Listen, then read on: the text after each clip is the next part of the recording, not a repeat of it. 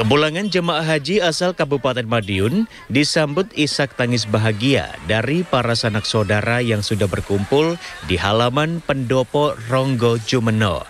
Namun tercatat dari 440 jamaah haji yang berangkat, dua jamaah haji masih tertinggal di kota Mekah menjalani perawatan medis di rumah sakit setempat karena mengalami sakit sindrom pernafasan akut berat.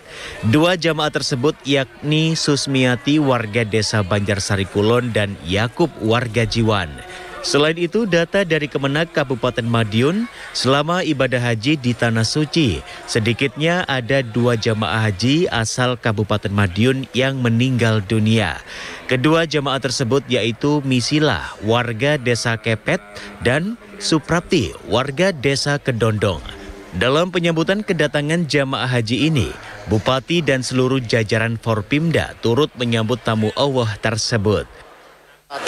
440 orang semuanya berjalan dengan lancar dan kita mendapatkan cobaan dengan dua yang meninggal dunia di sana dan dua yang masih ada di rumah sakit Arab Saudi. Insya Allah nanti akan diikutkan di kloter Diketahui jamaah haji asal Kabupaten Madiun ini masuk dalam kloter 5 embarkasi Surabaya. Mereka berangkat dari Indonesia ke Tanah Suci sejak pada tanggal 6 Juli 2019 lalu. Tova Pradana, CTV.